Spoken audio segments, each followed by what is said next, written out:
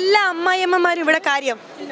ഞങ്ങൾക്ക് എന്താ ഇവിടെ കാര്യമൊന്നും ഞങ്ങളാണ് ഇവിടെ വേണ്ടത്. ഞങ്ങളല്ലേ ഇവിടെ വേണ്ടതല്ലോ? മരുമക്കളെ വീണ്ടും വട്ടം കറപ്പിക്കാനാണോ? യെസ് പക്ഷെ കോസ്റ്റ്യൂം കണ്ടിട്ട് അങ്ങനെ തോന്നുന്നില്ലല്ലോ. വേറെന്തോ ആണ്. അത് അങ്ങനെ കാണുമ്പോ അതിലല്ല കാര്യം. അവിടെ കാണുമ്പോ പറഞ്ഞാ മതി. ഇപ്പൊ കണ്ടോ?